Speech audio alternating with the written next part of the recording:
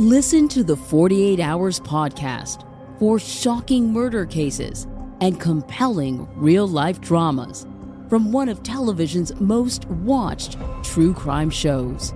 Go behind the scenes of each episode with award winning CBS News correspondents and producers in Postmortem, a weekly deep dive. Listen to 48 Hours wherever you get your podcasts. Inspired by the life of the savvy and ambitious Colombian businesswoman Griselda Blanco comes a new Netflix original limited series. Griselda tells the story of a devoted mother who, with her lethal blend of charm and relentless savagery, creates one of the most powerful cartels in history. Witness Sofia Vergara's captivating transformation into the godmother of the underworld. Griselda, streaming January 25th, only on Netflix. A note to listeners. The following podcast contains content that may not be suitable for all audiences. Discretion is advised. I asked him, I said, what was the, the moment, uh, or if there was a moment with each victim that you were looking forward to, the, the moment that of, of ultimate satisfaction? You know, was it was it the, the kill per se? Um, was it was it abducting them? You know, what, what was it that, that, that you lived for? The fact that he wasn't able to control his impulses at times and he and he simply was driven to kill and couldn't control it i think bothered him a little bit he referred to it as factor x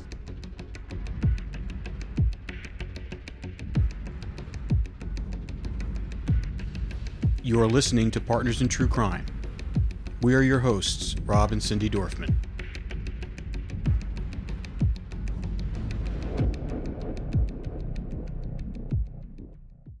Welcome back to the Killing Hour with Doc Bonn. We want to thank the Partners in True Crime listeners for tuning in last week for the premiere episode. We had a great response to the first episode, and there's more to come with Doc Bonn. Today, Doc Bonn is going to take us deeper into the mind of Dennis Rader, or as he liked to be called, BTK. Doc Bonn has been corresponding with BTK for his research, and as a result of that communication, BTK revealed many details about his mindset, methods of killing, and his feelings or lack thereof about the murders he committed. The purpose of this podcast is to get deep inside the mind of BTK so we can understand why he did the horrific things that he did in the hopes of possibly preventing future serial killings. Now it's time to dive into the world of BTK on the Killing Hour with Doc Bonn.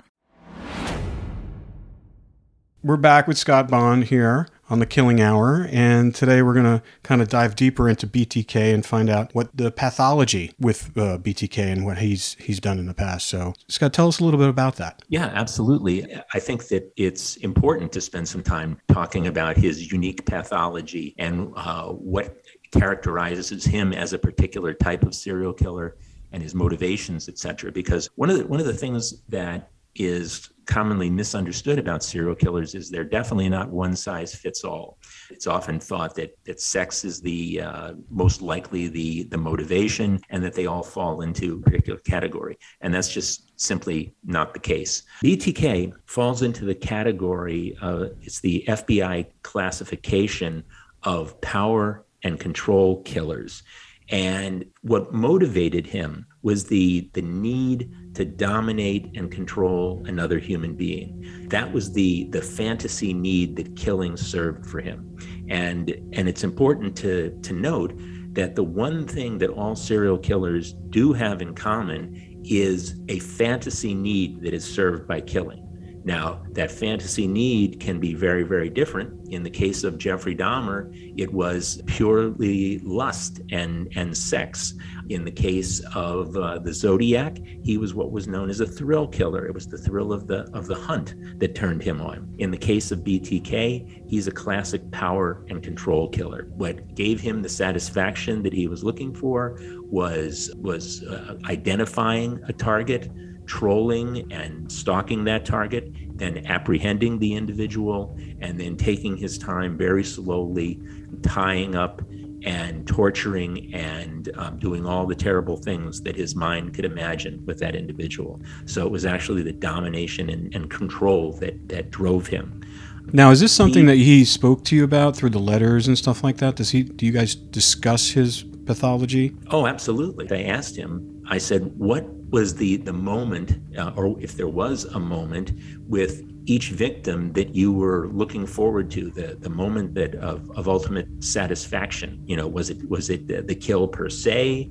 Um, was it was it abducting them? You know, what what was it that, that that you lived for?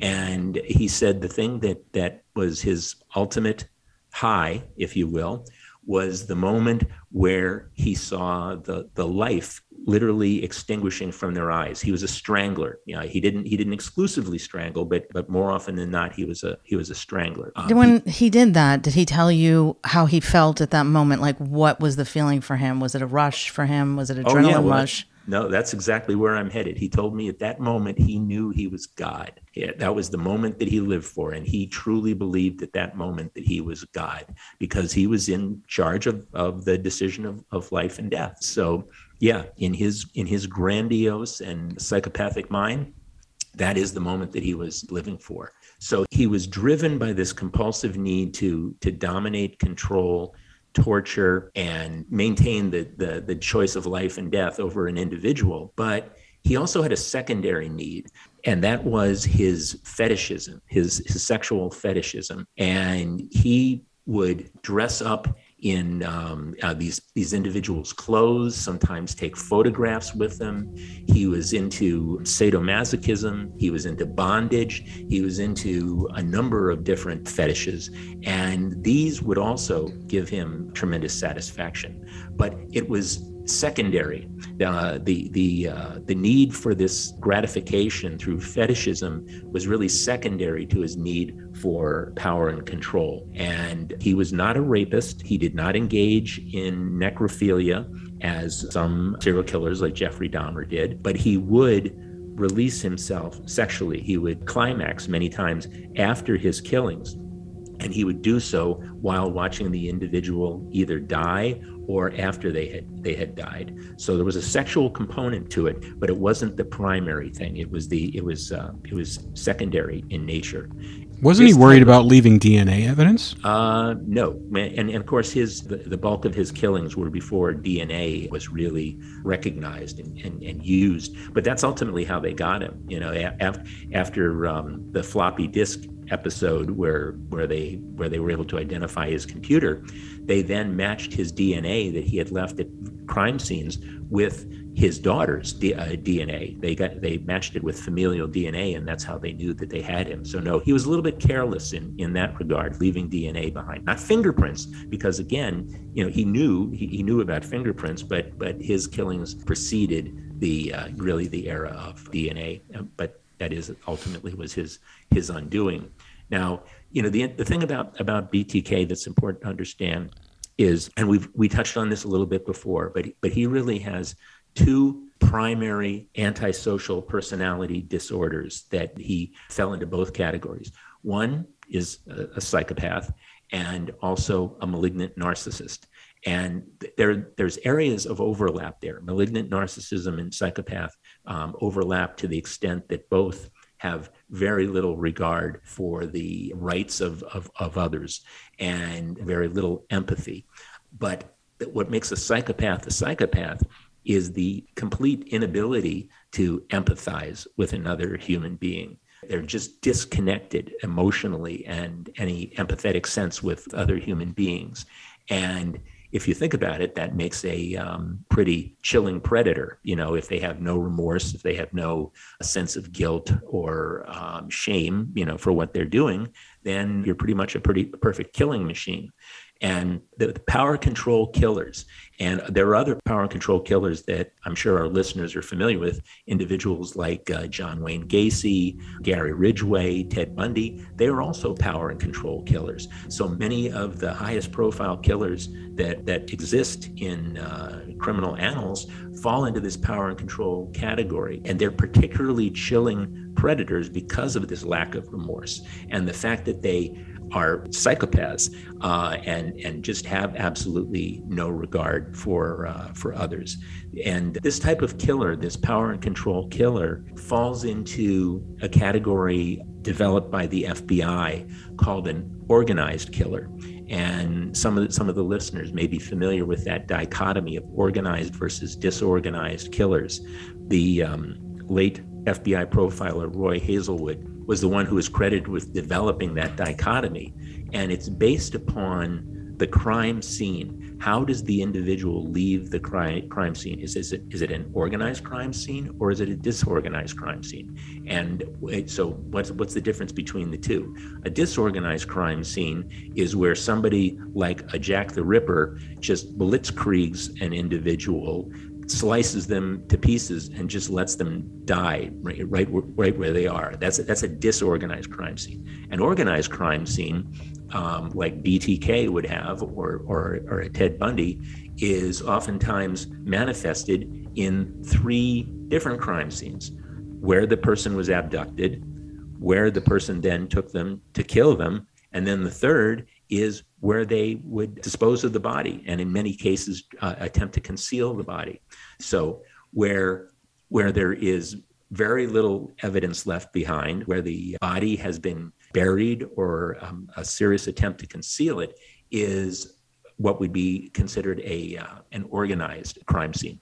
And the FBI, the thinking and the philosophy and, and the uh, strategy behind this is that we can know a lot about behavior and personality based upon the crime scene and based how the on how the individual leaves the crime scene. Psychopathic individuals like BTK and Ted Bundy often are these power control killers that fall within the organized category of, of killer.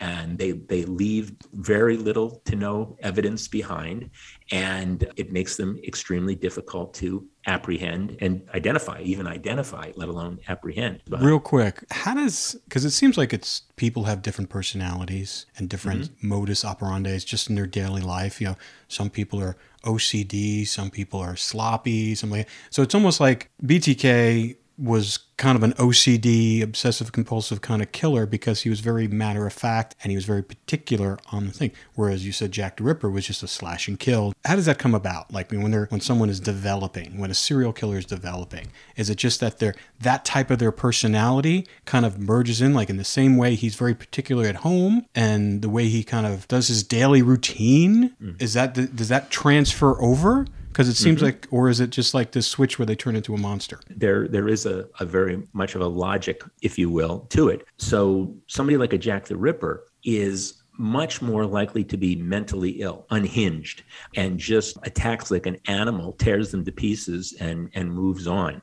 Whereas the the BTK and the Ted Bundys are very meticulous and they're meticulous in their own lives in their personal lives and they're meticulous in their in their killing lives they they they're planners they oftentimes, when BTK had his hit kit that he took with him, which consisted of ropes and guns and handcuffs and ligatures and, you know, every, everything that he might need in his sick endeavor to kill. And he would have contingency plans. He would have escape routes. He knew exactly what he was doing and he was well prepared. And, and yes, this is, this doesn't come out of nowhere. It is consistent with a very personality type. And people who knew Dennis Rader in his personal life and not knowing at all that he was the BTK killer, said that he was a you know a very serious, meticulous, control freak kind of guy. So it was very consistent with his um, you know with his with his personality, and the psychopathy of this enables him not only to kill with with such disdain, but it also enabled him to justify his his actions and to escape any sort of feeling of pressure you know. So he for example he on a couple of his crime scenes he had to sort of make things up on the on the fly, and that happened in the you know his first killing with the the Otero family, where he wasn't expecting to find so many of them at home, and it happened actually in his second attempt to kill later that year in 1974 when he went to the apartment of Kevin Bright and Catherine Bright, and he forgot his hit kit, and so he his normal MO, modus operandi, would be to strangle, but he found himself in a, life and death fight with Kevin, ended up shooting him twice in the face, and then stabbing his sister, Catherine, to death. Kevin actually survived. Kevin, Kevin is the only one who to survive a BTK attack. He has permanent damage as a result because he was shot twice in the in the face.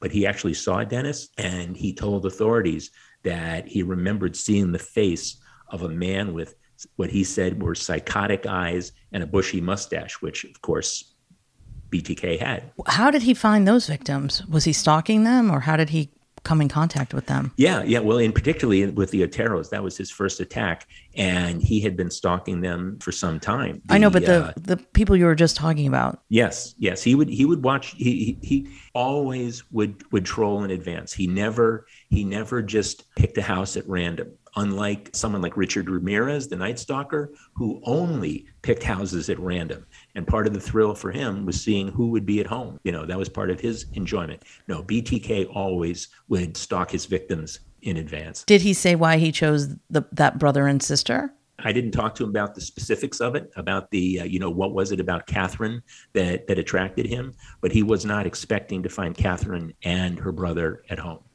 So it was the second time he was surprised by multiple family yes. members. Yes. He's very unusual in that, well, in many, many regards, but in it, to the extent that his MO would change. Normally, a, a serial killer will have a, um, an MO that they're comfortable with, like uh, the son of Sam, you know, shot, you know, was a shooter. You know, he had his, his Bulldog 44, and that's what he used exclusively. BTK's preference would be to strangle. And he loved the skin to skin gratification and and and being able to squeeze literally squeeze the life out of out of someone. He he that gave him tremendous satisfaction. But he would make it up on the fly when he had to and use a gun or or a knife you know where it suited his purposes or or became necessary. He would shift his mo as required.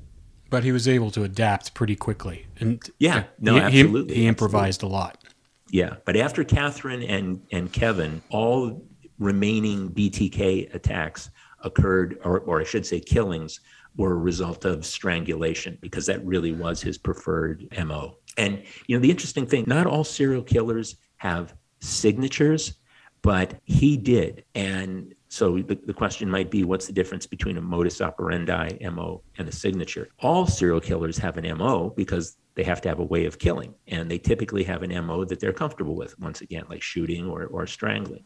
So an MO is what you have to do to kill someone. A signature, if it exists, is something that, that exists purely to serve the fantasy needs of, of the killer. And so, for example, BTK would torture bind, torture, kill. So part of his signature was tying these individuals up in very meticulous fashion. And he was a master of knots. He he had um, he had been a Boy Scout and he learned knots. His favorite was the square knot. That's actually how they linked his crime scenes originally was through the ligatures, through the through the use of the square knots. That was the first indication that they, you know, it was the same individual who killed the Oteros and Catherine Bright. But he took it further, not just the the the binding and uh, with the ligatures, but the but the torture itself, which he would do meticulously. And so this was part of his signature.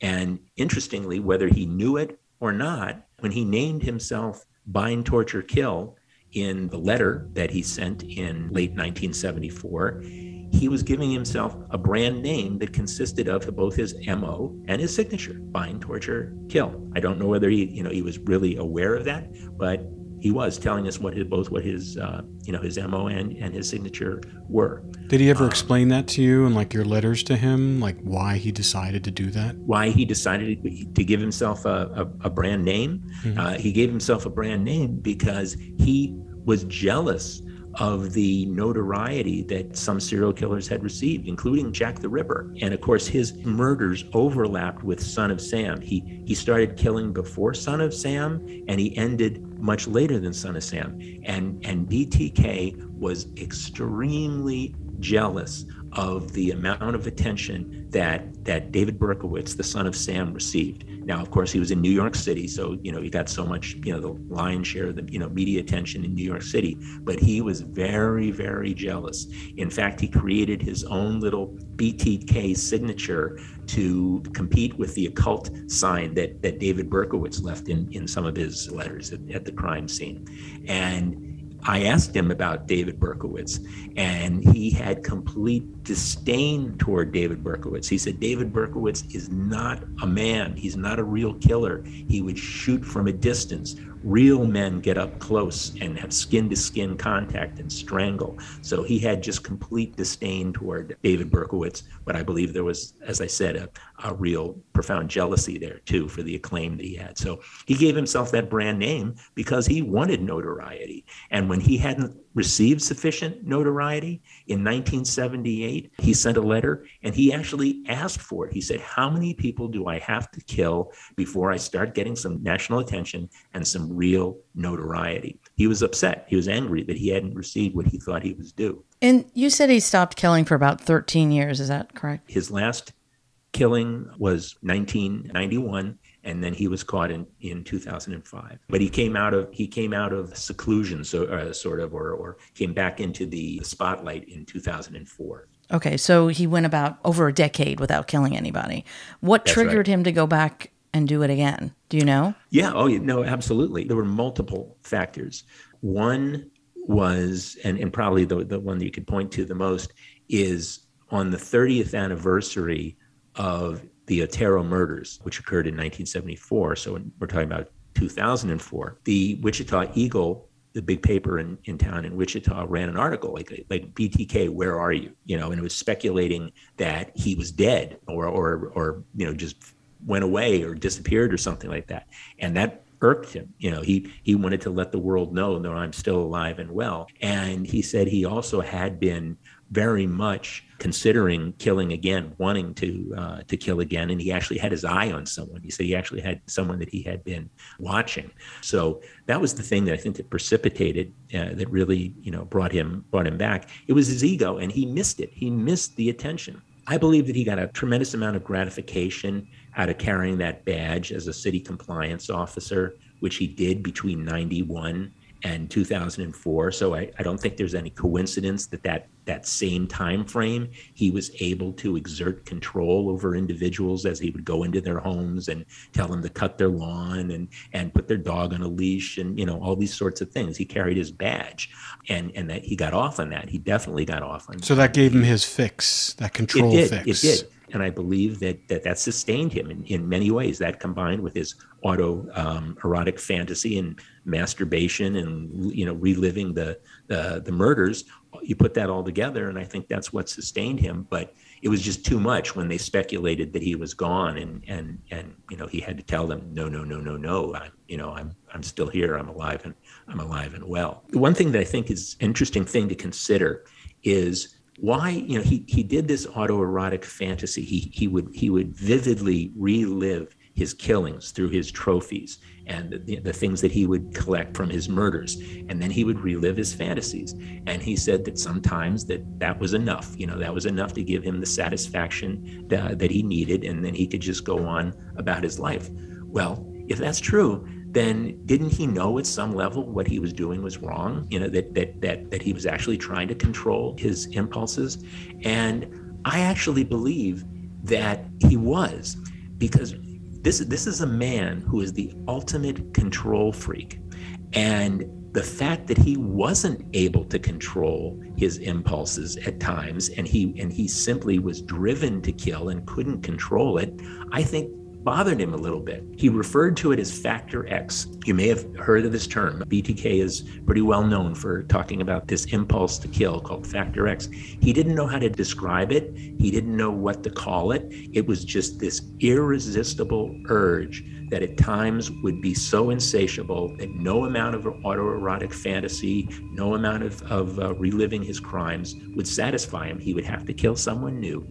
And when it came over him, he, as I said, it was insatiable. He called it Factor X because he didn't. He, he told me he said, "I don't, I don't understand it myself." Well, I actually think at some level in his psychopathic ego, it irked him that that he didn't understand it and wasn't able to control it. So I think that though there actually were attempts, that was he was attempting to do that, but in classic psychopathic BTK fashion, he has to flip it around and tell me and tell the world how fortunate we are that he was able to sustain himself through this autoerotic fantasy, or he might have killed much more frequently than he did. So we should be grateful. Society should be very grateful that he was able to uh, to do this. He told me that in no uncertain terms. Do you think that when he's because he wanted so much attention, he wanted to be Brandon BTK? To me, that just is kind of dangling a hook in someone's face, saying, "Catch me, catch mm-hmm. me, catch mm-hmm. me." Talk a little bit about why serial killers brand themselves and basically want to be caught. I would say that he, he did not want to be caught, but he loved the game of catch me if you can. And he developed a relationship with Ken, Ken Landwehr, who was head of the uh, BTK task force that they put together in 1984. And he was the one who ultimately you know, uh, ultimately caught Rader in 2005. So it was like 20 years of back and forth and cat and mouse. And Rader loved it. He absolutely loved this game. And he thought Landwehr loved it too. When he was caught with the floppy disk, BTK was aghast. He said, You know, Ken, how could you lie to me? Didn't you want this to go on forever, you know, our game? And Landwehr said, No, I was trying to catch you. Of course I lied to you. And in BTK's strange, psychopathic, principled world of principles that only he understands, he thought that Ken had dishonored their friendship, their relationship. He said, Ken, we're fellow law enforcement officers, you know, referring to his carrying a badge as a compliance officer. So he had he thought he had just been completely betrayed. But to, more to your question about, you know, why do they some of them do this? Not all serial killers do this, but some of the most prolific and infamous do. And it just adds to the excitement of the game. It demonstrates to BTK, hey, I'm I'm the smartest guy in town you can't catch me. Not not only do you not know who I am and that I'm killing, but I can even give you clues. I can send you information. I can send you puzzles and games and clues to, to find me, and you can't find me because I'm smarter than you are. So it just it, it heightened the excitement. Well, it's also and, control because he's controlling the narrative. Absolutely. So that's another way that he could manipulate everyone and control of and course. be the puppet master of what's happening. Yes look at me. I i am in ultimate control. And speak and, and in that regard cindy i'm so glad you mentioned that because i asked him in one of our letters i said i said is there a moment that's that stands out to you you know where you know because I he's so grandiose about his you know about his accomplishments. Is there one thing that stands out to you above, above all others that you're gained the, the most satisfaction from? And he wrote back to me he said yeah absolutely. He said in 1991 was the year that I received my badge as a city compliance officer. And this was like a lifelong dream to be a officer of sorts. And he had to go down to City Hall in order to get his badge. Well, guess what? While he was there receiving his badge, they asked him, Would you like to see the BTK war room? Would you like to see where, you know, we have all the evidence and everything to, you know, catch this terrible serial killer? And he said, Of course, I'd like to, you know, I'd, I'd like to see it. So he went in there and he was just, I mean, a kid in a candy shop couldn't have had as much fun um, as he had. And uh, because there he was, unbeknownst to them, the man that they were looking for, they had just given a badge to, and they were uh, they were walking him through the BTK war room. It can't get more ironic than that. And I, what was their reaction after the fact, after they caught him and they realized what they well, did? Well, let me let me just let me just finish the the story. Uh, he he told me. I, I said, "How did it make you feel?" And he said, "What a rush." and exclamation point, exclamation point, exclamation point. Law enforcement, after the fact, when they realized they had, he was right underneath their nose the whole time. Oh, well, they had their first session and it was it was like old home week for for BTK. It's like he was holding court. He said to them, you know, Ken, you've been you've been trying to catch me for the longest time. You were unable to, and he he he said I was only undone by the by the floppy disk, and it's only because you betrayed me, you know, that that this happened. So there was a bit of ego jousting in um, even their their first session. He's so grandiose he said to Ken and, and the other detectives, he said, It's obvious that we're going to be here for a while. So if it's okay with you, can we just put BTK on my coffee cup so I know which one is mine? You know, uh, he wanted his own personalized coffee cup because that's who he is, you know, and it's all about me now. And, and in, so rather than be sad, uh, for lack of any better word, about being caught he although he felt betrayed and he was a little bit angry at ken landwehr for you know for in his mind betraying him however it, it gave him a new stage to stand on. So even though now i'm i'm caught now I have an opportunity to tell you how I fooled you for the last 30 years. Look what I did. Look, look what I did. You you had absolutely no idea that I was that I was here in this town under your very noses, and you were giving me a badge and you were making me the president of the Lutheran Church, you know. So it allowed him to bask in his his glory. So it just gave him it gave his narcissism and his psychopathy something new to feed on. Yeah. But what was like my question was is like what was the reaction of the law enforcement that he was right underneath their nose the whole time? The, nothing nothing public you know i mean they didn't come out and say oh gee you know what idiots we were you know for you know not not not catching him so nothing of a, a public nature it was more a description of his demeanor once he was apprehended. Well, to be fair, it's it's similar to Gary Ridgway. I mean, there wasn't DNA analysis. We didn't have the technology back then that we have now. They didn't have those tools, law enforcement at the time. Had it been now, right. he would have been caught straight away. Yeah. But I right. mean, to be fair to law enforcement, it must have been very frustrating for them to have him be right there in front of them. I can imagine that must have felt awful. Yeah, because they swabbed Gary like years beforehand when they, you know, because they called him in twice before, passed mm-hmm. three polygraphs. But I guess mm-hmm. the last time they had him in, they swabbed him. But they did, the technology didn't catch up until about literally 2001. It was like right mm-hmm. after 9 11. And that's, mm-hmm. you know, and they, they, they had that, and they also had some paint from the Peterbilt truck place where he he was a, he painted trucks, and it was on his mm-hmm. clothes, and so they had mm-hmm. those things that really connected the dots for them. But you know they were looking at him for a long time; they just couldn't prove anything. Mm-hmm. But mm-hmm. my question to you is going back a little bit about the bind, torture, kill thing. Was that did the whole thing, the bind, the torture before the kill? It, was that all the foreplay before, so he can until he can gratif- gratify himself? Was that the foreplay for the kill? There are two kinds of, of serial killers in terms of the murder itself means to them. There are act oriented serial killers who are focused on the act of killing itself, and then there are process oriented serial killers that it's all about what leads up to the kill. And BTK is very much a process for the point of distinction so the you know the listeners understand wh- where I'm headed with this is someone who kills David Berkowitz is a very good example of a serial killer who is focused on the act of killing. It wasn't the process. He was a shooter. He did it from long, long distance. He wanted to kill. He needed to kill. That is the thing that, that drove him. Now, in his case, he believed it was a message from Satan to kill, but it was the, the, the, the thing that he needed to do in order to satisfy his relationship with Satan was kill. So shoot him and we're done. In the case of BTK, no process of killing is the thing that really gave him the satisfaction that, that he was looking for. So it was all about the trolling, finding the, the individual, watching them, getting to know their routine, and then apprehending them, subduing them, tying them up, and torturing them. That was that was all very much part of the process. And that led up to the killing itself. And as I said, for him, the orgasm was extinguishing the life from the individual, watching the light go from their eyes, but not because of the act itself, but of everything that had preceded it. So, in that regard, I mean, I think you could use the analogy of foreplay, but foreplay being really the goal as opposed to as opposed to the, the kill itself.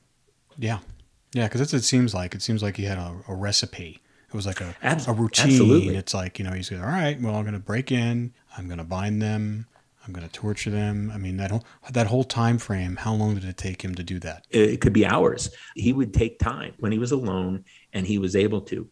There were times where he was things didn't go as he had planned, like with Kathryn and, and Kevin Bright didn't go as planned. Another time that didn't go as planned, he killed a woman, Shirley Vian, and she had three children actually had three children at home and he was interrupted the phone rang and it became a chaotic scene and he just left after he killed shirley now he has said if given the time and if things had gone differently uh, as planned he would have certainly killed at least one or more of the children in addition to uh, shirley so So he got stressed out because it was too chaotic. His, his, yeah yeah he had It to make- he disrupted had to make- his um, routine it that's right that's right his routine got because he was so methodical. It seems like that he had this idea in his head and it had to go according to plan and controlling every element.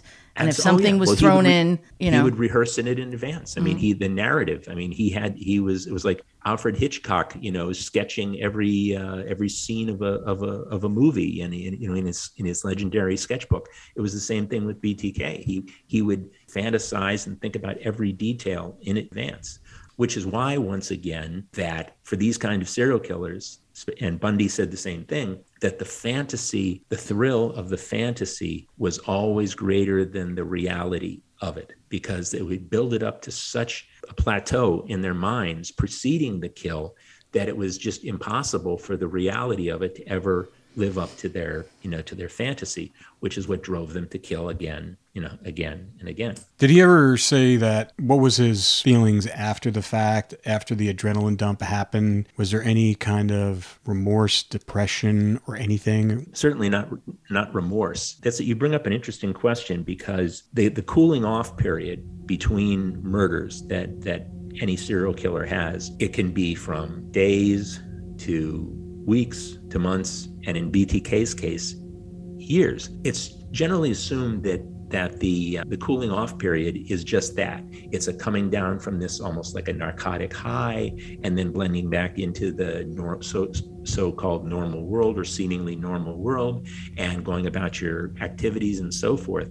But for BTK he had these lengthy cooling off periods that really became more like ritualistic planning periods. He what he would do is he would begin to very slowly try to identify the next victim and and watch them. And it and it became sort of a foreplay. So these cooling off periods were actually periods of escalation and fantasizing and would lead him to the point where he would reach a tipping point and couldn't stand it anymore and, and had to act on it so the the uh, the normal cooling off period for a serial killer is a little bit different than than him it's it's it's almost it's almost unheard of to have these gaps between murders go on for years. You know, I mean, he he killed in 1974, he killed in 1977, 85, 86, and 91. Okay, those were, and then he was captured in 2005. So think about that. I mean, it's, it, we're, we're talking years and years in between these uh, murders. So very atypical as cooling off periods go with with serial. Is that what he explained to you though? That what in between those periods he was just kind of pining and fantasizing on what the next thing is, and Absolutely, and Looking like for the pushing down next- the urges, and you know how looking for the next perfect victim looking for the who who is the next one? Who's she going to be? And and let's watch her and take detailed notes and and learn everything about her. It was all part of the escalation and the fantasy that leaded up to um, the kill itself. He would fantasize on end about what he was going to do to her you know once he identified her. So absolutely um, it was it was a big part of the process and, and and that's why i say he is a classic process killer not an he's not an act oriented killer he's a process oriented killer Did he ever like during that period, that that cooling off period or that planning period, did he get to a point where he was trolling someone and didn't follow through on it for a variety of reasons? Like you know, it did, it wasn't matching up with all his boxes that he was lining up in Well, preparation. there, there was one episode. In 1979, he had been watching a woman by the name of Anna Williams, who was a retiree, and he was planning to kill her. And in fact, he thought he understood her schedule. He broke into her house and he was waiting for her, but she didn't show up. And he waited for a long time until he finally decided, I'm, I'm not waiting any longer. And you know what he did?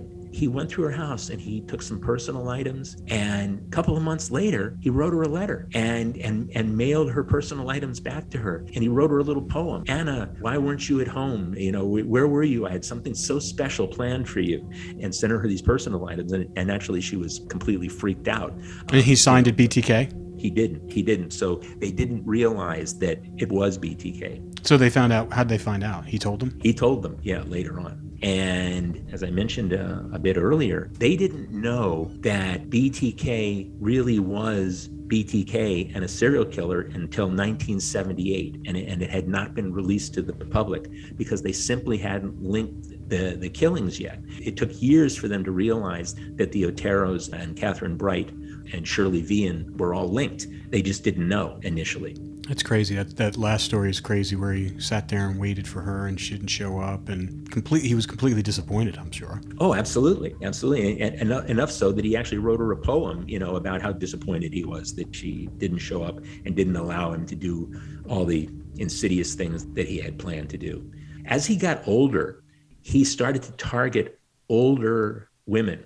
Probably realized that physically he you know he just wasn't as adept and strong and agile as he was when he was younger. And so some of the, his later victims and intended victims like this woman was in her 60s anna williams and his the last woman that he killed Dolores Davis in 91 was also in her 60s, whereas some of his, his earlier victims were in their 20s and, and 30s. It's crazy. He's adapting even to his own aging. Yeah, yeah, uh, absolutely, absolutely. And does he still have know, those urges now? I mean, now he's been in prison for a long time. He has fantasy needs, but he they, they're played out differently. You know, he he knows he's not going anywhere. He's not he's not an idiot. He he knows he's never uh, getting out of prison. So his need to fantasize has not dissipated but it's simply redirected itself. And so he has has fantasies now about things like investments that he says are, are like a narcotic. They're like a drug addiction to him. He meticulously follows the stock market and real estate. And in his mind he he has created a fantasy portfolio of stock and other securities and real estate investments that that he has created in prison that he says has made him a, a wealthy man. So he continues to fantasize, but he's just you know retargeted it in a, in a way that he can manage it and, li- and live it out. You know i mean the, the stock market is a bit of a high for a lot of people uh, the highs and lows the roller, roller coaster ride of securities and stuff like that. So it's not surprising that that he would be drawn to that.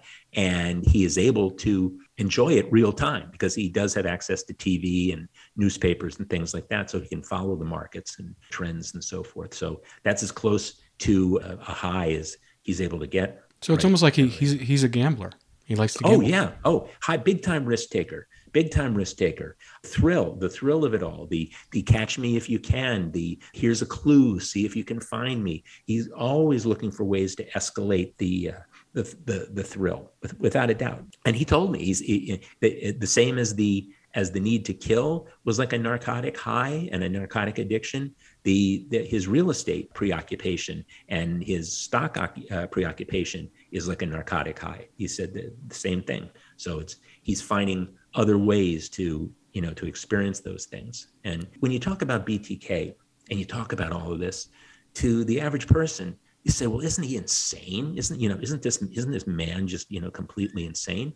And i suppose in in layman terms you know in terms of literally abducting torturing and and strangling the life out of someone that seems rather insane especially when you're doing it over and over again to complete strangers but the, the important thing to understand, and I and I try to, especially when I teach classes and stuff like that, I try to make make this very clear to to um, my students, is that BTK, as crazy as he might seem, is neither insane in a clinical sense or in a legal sense. He simply does not fall into the, the, the insanity realm in either case. In the case of, of clinically, he is not mentally ill. He has been diagnosed with multiple antisocial personality disorders, narcissism, psychopathy, sociopathy, borderline uh, personality disorder. These are these are these are not mental illnesses for which there is any cure. They are antisocial personality disorders that are actually incurable, but they're not mental illness. It is not the basis for an in- insanity defense. And the reason for it is BTK and Bundy and John, John Wayne Gacy and rattle off all the big brand names, they're not insane in a in a in a in a legal sense.